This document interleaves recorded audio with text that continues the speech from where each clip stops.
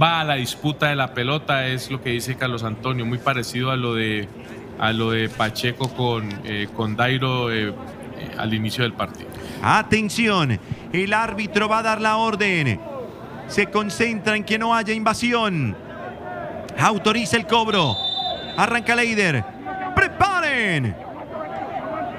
¡Apunten! ¡Fue!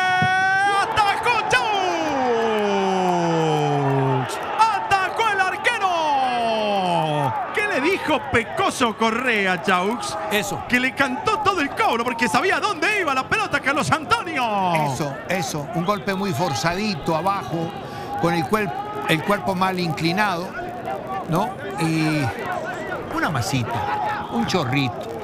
Se la puso ahí al arquero. Eh, bien Chaus, mal el ejecutor. Pero fíjese usted que, que era fácil determinar y aquí casi se cumple. Aquí